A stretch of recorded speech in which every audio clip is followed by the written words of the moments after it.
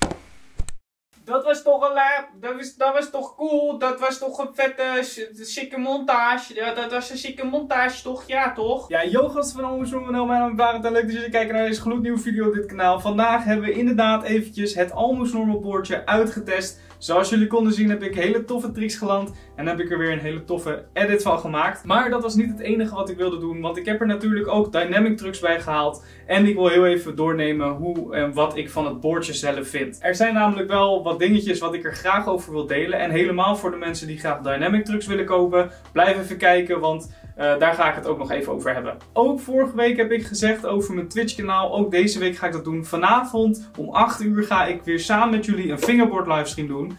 Dus wees erbij. Linkje staat in de beschrijving. En ik zie jou straks daar. Maar voor vandaag gaan we het hebben over het boordje. Laat ik beginnen bij het dek. Het dek is natuurlijk super fucking mooi. Ik kan er niks anders van maken.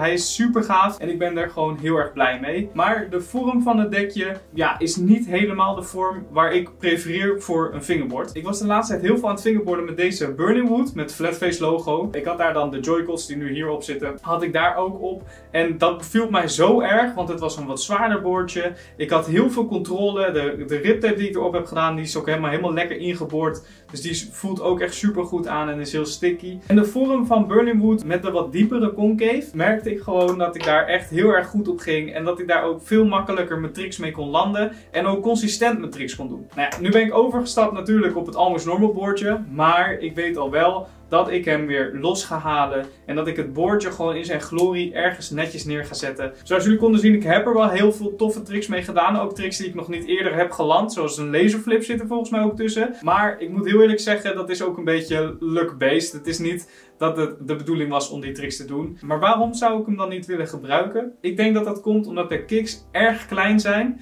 Uh, de concave is heel mild, maar dat maakt op zich niet heel erg veel uit. Alleen ik merk gewoon dat de kicks te klein zijn. Als ik ze ook naast elkaar leg, dan zie je dat de kicks erg klein zijn. Hij is wel 34 mm. Ik vind het jammer dat deze niet, dat niet is. Want de 34 mm merk ik wel dat dat voor mij persoonlijk beter is. Omdat ik dan nog meer ruimte heb om mijn vingers goed te positioneren. Waardoor ik makkelijker mijn trucjes kan doen. Dus de vorm van het dekje is niet helemaal het, de vorm van voor mij een skate deck. Op zich zit er ook bij dat ik gewoon heel zonde vind om boardslides te doen met dit boordje. Want ik kon mijn logo natuurlijk niet verpesten. Ik vind hem wel de allermooiste die ik heb. 100%. Het zou ook gek zijn als dat niet zo is trouwens. Ja, ik ben er gewoon enorm blij mee en ik vind het zonde om hem te beschadigen. Dus ik ga er gewoon iets bij kopen waar ik hem in kan zetten, op kan zetten of in zijn lijstje kan doen. En dan ga ik hem daarmee lekker displayen, want dat is veel dan ermee te vingen worden. Want ik vind dat gewoon een beetje spannend. De FBS tape is trouwens echt wel heel chill. Ik vind de grip tape echt heel nice. Dus FBS kan ik zeker aanraden. En laten we het nu hebben over de Dynamic Trucks. De Dynamic Trucks, ze zijn echt wel chill. Het is een andere manier dan de Black River Ram Trucks. Die zitten juist vastgedraaid aan de bovenkant. En deze hebben gewoon een schroefje wat helemaal naar beneden gaat. En dat je hem daarmee los of vast kan zetten. Dat betekent dus dat je ze wel echt een stuk losser kan zetten. Zoals je kan zien, ze zitten ook echt heel, heel erg los. Maar de bushings zijn niet helemaal ideaal, want die zijn, die zijn niet helemaal vullend. Je kan het ook denk ik wel een beetje zien op de video. Waarschijnlijk moet je er dan eventjes nieuwe bushings verkopen en dan zijn ze gewoon super chill. Uh, over het algemeen ben ik best wel te spreken over de trucks. Alleen ze zijn wat lichter dan de Black River Ram trucks. Wat niet heel erg is, maar ik hou persoonlijk van een wat zwaarder fingerboard. Dus voor mij is dat gewoon een makkelijkere optie om dus te gaan voor een zwaardere truck. Verder, ja, ze zijn gewoon van goede kwaliteit. Ik heb er best wel wat grinds mee gedaan. En zoals je kan zien, er zitten eigenlijk weinig schade op. Dus wat dat betreft ben ik er best wel heel erg blij mee. En durf ik ook wel te zeggen dat Dynamics kan ik aanraden als je ervan houdt dat je trucks heel los zitten. Persoonlijk vind ik dat dus ook echt wel super fijn. Dus wat dat betreft ben ik echt wel blij met de aankoop van de Dynamic trucks. Dus ik kan ze aanraden. Over het algemeen ben ik echt enorm blij met deze setup. Maar wat ik al zei, ik ga hem uit elkaar halen. En ik ga denk ik deze Dynamics onder mijn andere Burleywood zetten. Daar even nieuwe rip tape op. En ook die kunnen lekker gaan shredden. Maar ik ben dus nog steeds echt enorm blij met het Almost Normal boordje. En ik ga ook echt zeker nog steeds elke dag van genieten. Ik weet nog niet wanneer ik hem uit elkaar ga halen trouwens. Want misschien dat ik er nog wel even wat langer mee doorga.